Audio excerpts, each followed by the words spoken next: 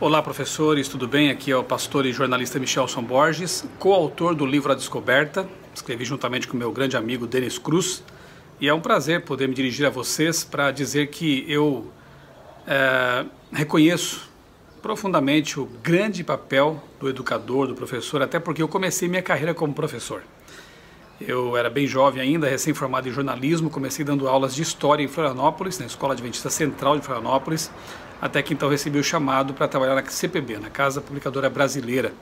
Portanto, eu considero realmente a missão do professor como uma das mais sublimes que marcam a vida das pessoas, das crianças, para sempre.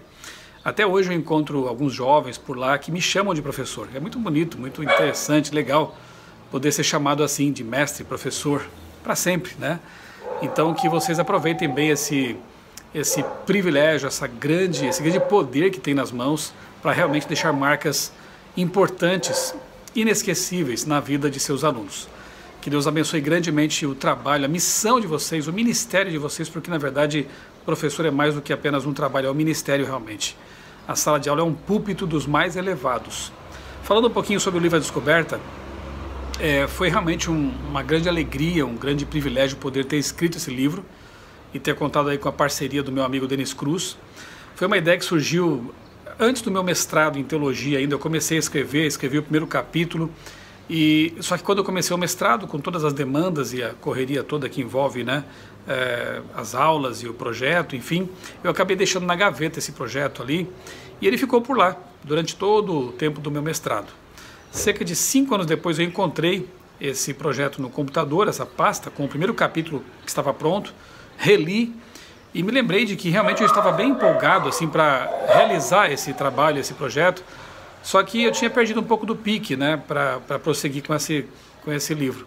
Foi então que eu convidei o Denis e aí a parceria foi perfeita. Né?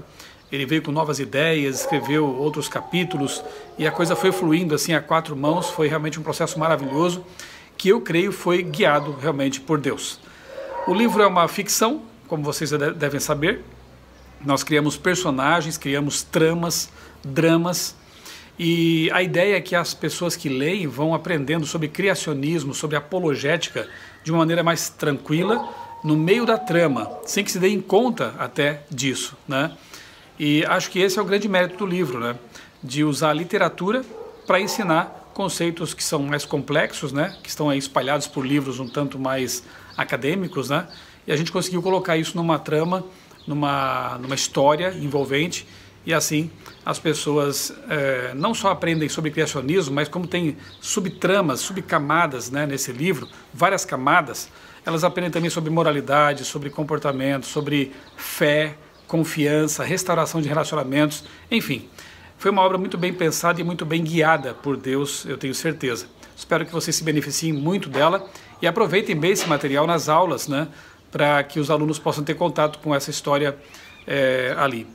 Grande abraço para vocês, que Deus continue usando cada um de vocês na missão para a qual Ele os e as designou. Até logo.